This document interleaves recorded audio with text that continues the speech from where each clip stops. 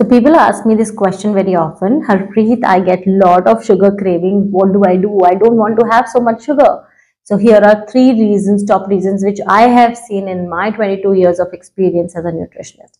First could be deficiencies in the body अगर आपकी body में डेफिशिएंसीज हैं जैसे कि मैग्नीशियम या जिंक की deficiency because you are not eating properly you are not eating all the food groups you are on some crash diets there is very high possibility that you will crave for sugar okay two is that if your body is having low sodium in the body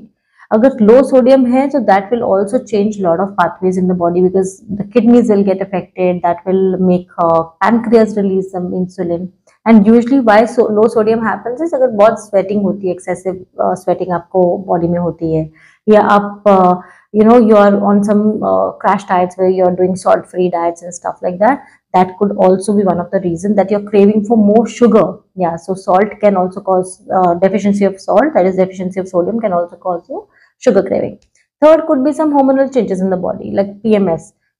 just before your periods or during your menopausal phase, you may have some hormonal disturbance. Normally PMS में बहुत ज्यादा sugar craving नहीं होती है एक थोड़ी बहुत craving होती है you eat a piece of it and you are good with it but if you are a one who's eating the big bar of chocolate and you're eating a tub of ice cream so that means there's something majorly wrong there is uh, you know a lot of hormonal imbalance which also needs to be corrected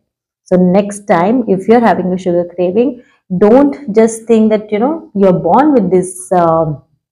genes, probably you're deficient or you're having less of sodium. Work on your body, eat a well-balanced diet and you will be good.